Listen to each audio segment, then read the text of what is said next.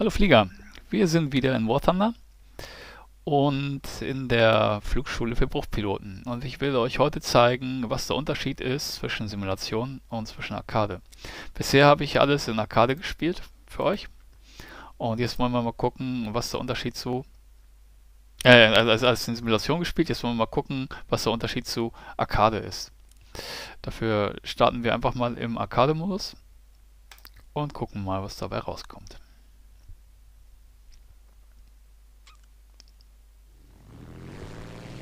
Äh, erstmal irgendwie, sobald der, der Motor ist sofort an, man muss ihn nicht anlassen, aber fliegen wir gleich erstmal los. So, äh, wie ihr seht, irgendwie bei 90 äh, hebt das Ding ganz locker ab. Irgendwie man kann da irgendwie so locker mit irgendwie hin und her machen. Das geht alles ganz locker. Und wenn ich jetzt irgendwie zum Beispiel Seitenruder gebe, dann dreht sich das Ding einfach so auf den Kreis. Also das funktioniert physikalisch eigentlich gar nicht, aber also hier ist das ja überhaupt kein Problem und ähm, wir können auch irgendwie einfach mal so eine Rolle machen, da passiert auch nicht viel und wir können auch irgendwie auf dem Rücken fliegen, irgendwie sowas machen, wir können irgendwo steigen, wir können uns irgendwie in einen Messerflug legen und wir können im Messerflug natürlich dann auch, ah, Moment mal, ah, gehen wir mal im Messerflug und dann steigen wir mal im Messerflug. Das heißt, das ist eine Sache, die eigentlich nicht gehen sollte, weil wir haben ja momentan keine Tragfläche mehr, auf der wir, auf der wir hängen. Trotzdem, um, unsere Höhe, ähm, die wird dort angezeigt wird, ist Altitude, wird 190, 200, 207, 209. Also ich kann mich ganz aufrecht stellen, kein Problem. Ich fliege einfach. Das Einzige, was ich gemacht habe, ist Seitenruder geben. Das heißt, das Seitenruder hält uns in der Luft. Super Idee. So, ähm, wir können, ähm, wir können irgendwie praktisch irgendwie zwar ein bisschen, also richtig im Kreis fliegen kann man gar nicht. Nicht so, wie man das äh, machen kann im Simulationsmodus, weil das Ganze ist so ein bisschen, naja, äh, keine Ahnung, ja, ich, äh, ist glaube ich für, für, eher für Mausflug gedacht. Das heißt, das Flug, Flugzeug fliegt dahin, wo du mit der Maus hin zeigst, aber so richtig ähm, sinnvoll für, ein, äh, für Flugsim also Flugsimulation ist das nicht. Es hat auch nichts zu tun mit, mit, mit Fliegen können oder sonst was. Äh, das Flugzeug, ähm, ja, ich, kommt da so eine Meldung, ja, da könnte was stallen oder so, aber das tut es nicht wirklich, weil irgendwie ich brauche keine Geschwindigkeit, um Looping zu machen, ist alles irgendwie kein Problem. Ähm, es ist völlig unmöglich, das, das, das Flugzeug irgendwie abstürzen zu lassen. Das geht gar nicht, weil irgendwie egal was ich mache, es gibt keinen Flug Stromungsabriss und gar nichts.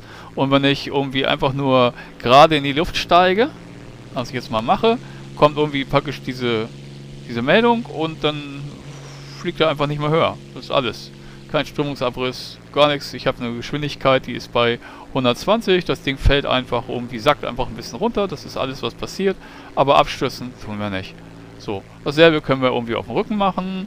Wir können wahrscheinlich auf dem Rücken sogar einen ganz lockeren Außenlooping aus dem Nichts heraus machen. Jojo, das geht alles. Und, ähm, tja, was soll ich dazu sagen? Also das ist das Spiel, das die Kinder spielen. Und ähm, in Realismus und in Simulation sieht das Flugmodell völlig anders aus. Das ist das, was ich dann euch gezeigt habe. Deswegen spiele ich kein Arcade. Das ist wirklich für die Maus und äh, keine Ahnung. Ich sehe da jetzt keine Herausforderung drin. Ich weiß nicht, es gibt vielleicht Leute, die, den, die da Spaß dran haben oder so. Aber ich finde das ziemlich hm, spaßlos. Braucht man nichts, muss man nichts für können. Kann jedes vierjährige Kind. Also, äh, ich meine, es gibt vierjährige Kinder, die wahrscheinlich richtig gut Simulation fliegen können. Äh, das ist wahrscheinlich noch nicht mal vierjährig, irgendwie zweijährig oder so.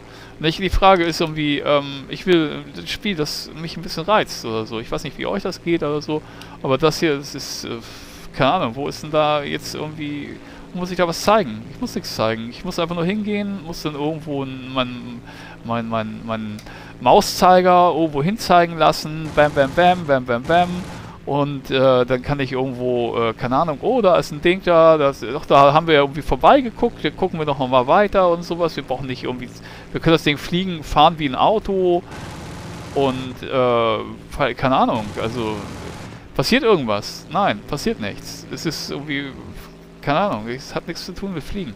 Okay, das ist Arcade-Modus. Und richtig schlimm wird es, wenn wir in die, Opt in die äh, was ist es, Controls oder ist es eine Option? Ich glaube, es ist eine Option.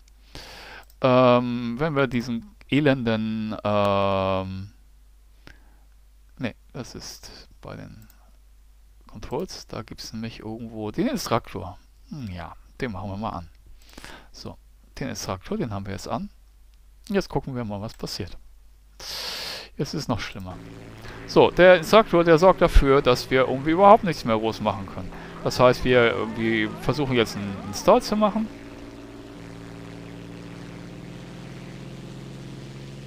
Ja. Irgendwie nicht so richtig, ne? So, dann versuchen wir mal irgendwie, ähm, wie, keine Ahnung, auf dem Rücken zu fliegen. Ach so, weil ich mit Joystick fliege, geht das sogar. Auf der Maus würde er mich jetzt irgendwie ähm, äh, anders hindrehen. Auf jeden Fall sorgt er dafür, dass ich äh, einfach geradeaus fliege. Also ich muss ihn jetzt nicht mal mehr halten. Ich drehe ihn einfach irgendwo hin und er fliegt dann irgendwie einfach diese Richtung. Ich lasse den Joystick los und er bleibt stabil. Er bleibt einfach da, was, was los ist, weil das macht jetzt irgendwie, der Computer macht das Ganze. Das heißt, ich sage eigentlich nur noch, wo ich hinfliegen will, oder ich richte das Ding aus, der, der, der, der hat jetzt null, gar nichts mehr, gar nichts mehr.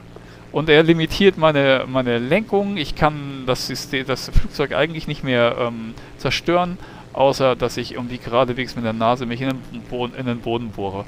Und selbst das funktioniert nicht so richtig. Also, äh, äh, man kann das machen, ja. Man kann es machen. Ja, die Ziele werden natürlich toll angezeigt so. Man braucht sie nicht zu suchen und nix. Und da sind sie dann halt und da sieht man dann auch die, die, die, die, wie weit sie entfernt sind und wo man dann hinschießen muss, das zeigt er dann auch an und und ich weiß nicht, jetzt habe ich eine Entfernung von anderthalb Kilometer, das würde ich niemals wagen, irgendwie bei der Simulation auf diese Entfernung zu schießen. Aber wahrscheinlich ist das hier, naja, keine Ahnung.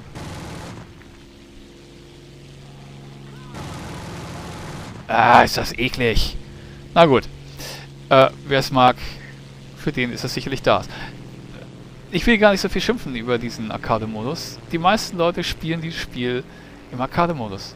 Und damit verdient, das, verdient diese Firma ihr Geld mit diesem Modus. Und ich könnte mir vorstellen, dass die Programmierer von dieser, äh, von dieser Firma, also von Gaijin, irgendwie das Kotzen kriegen. Weil sie sagen, na gut, okay, ähm, die Kinder bezahlen uns äh, das, was wir machen wollen. Mm, und die richtigen Spieler, die können das spielen, was sie wollen, nämlich Simulation. Und wir haben uns richtig viel Mühe gegeben, eine tolle Flugsimulation hinzubringen. Aber die Leute, den Leuten ist das zu kompliziert, also spielen sie Arcade. Äh, also, wenn ihr reingeht in dieses Spiel und Arcade spielt, kriegt ihr das, was ihr verdient. Ganz einfach. So, ich schalte das mal bloß wieder ab. Das ist ja nicht zum Aushalten. Furchtbar Autotrim aus, natürlich.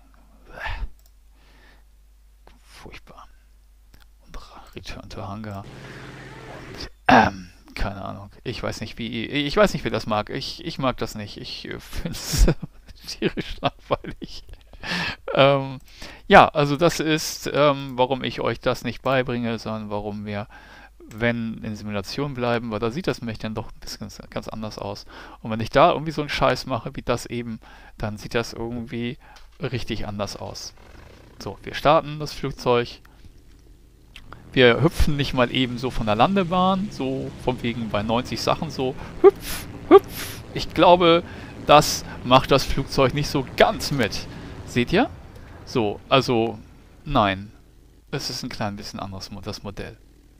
okay, ich hoffe, ihr, äh, ihr, habt das begriffen, was der Unterschied zwischen Simulation äh, und Realismus äh, im Flugmodell und diesem elenden Kindermodus ist.